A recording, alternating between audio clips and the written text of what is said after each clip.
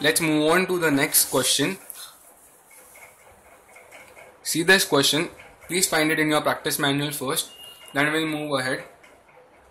I hope you all have found it out the sum. Let's read the sum first. The data relating to two companies are as given below. Company a and company b. Equity capital 6 lakhs. Equity capital of company b is 3 lakh 50 12% debentures of company A is 4 lakhs and company B is 6 lakh 50,000. Output per annum. Output per annum is 60,000 for company A and 15,000 for company B. Selling price of the output is 30 rupees for company A and 250 rupees for company B. Fixed cost per annum for company A is 7 lakhs and for company B is 14 lakhs. Variable cost per unit per unit for company A is rupees 10 and company B is rupees 75,000. So what we need to find out?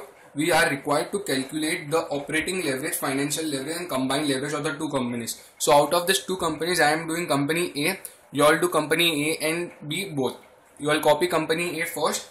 But how to solve the sum in exam? I'll just show you all once. I'll, I'll not be solving company B, but I'll make a format for that. Okay. This is question number 6 PM page, you all write and write the specific question number that is in your practice manual. Okay. Uh, so what they have asked us, firstly we'll make the format. Particulars, company A and company B. I hope you all have not thought of making two different tables because it will consume a lot of time in exam and time is constraint in exam. Okay. We'll write sales less variable cost contribution less fixed cost EBIT less interest we get EBT.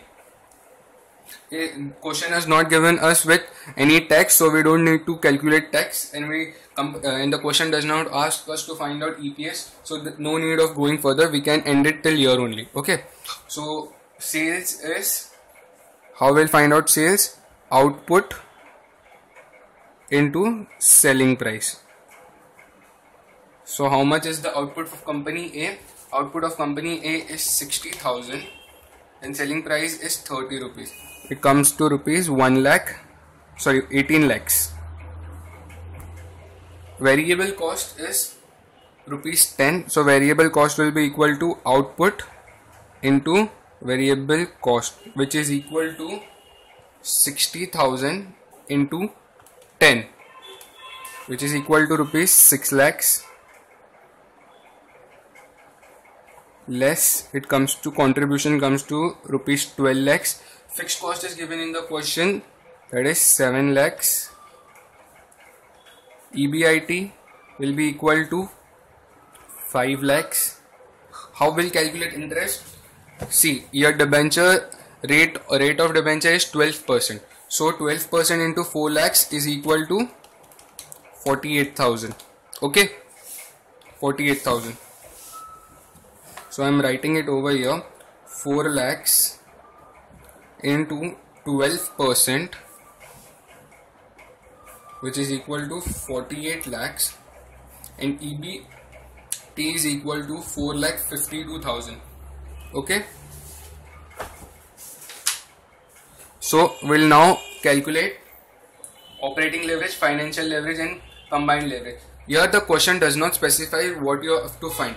Here the question is specifying only to find out static formula. That is if if they have asked you to find out dynamic formula they would have specifically written you are required to calculate degree of operating leverage degree of financial leverage degree of combined leverage. So they have not written so there is no need of finding out degree or the dynamic formula of all the three measures. Okay? You all simply find out the static formula that's it. Do not show your smartness in exam by solving both the formulas okay i hope this is quite clear. Operating leverage is equal to contribution divided by EBIT which is equal to contribution is how much? 12 lakhs. EBIT is equal to 5 lakhs which comes to 12 divided by 2.4 times. Operating leverage is 2.4 times. Second financial leverage is equal to EBIT divided by EBT EBIT is how much? 5 lakhs. EBT is equal to 4 lakh 52,000 so we'll find it out. 5 lakhs divided by 4 lakh 52,000 it comes to 1.1062 times.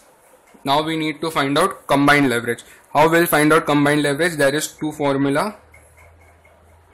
Not dynamic static and dynamic. Two formulas of combined leverage are operating leverage into financial leverage or contribution upon EBT. I prefer to solve with this formula. Why? Because we have already calculated. So 2.4 times into 1.1062 times it comes to 2.659 times approx hope this is quite clear so please pause the video and copy this much. And one more thing I want you all to know write company A for this and company B when you calculate the company B measures okay? So copy the remaining part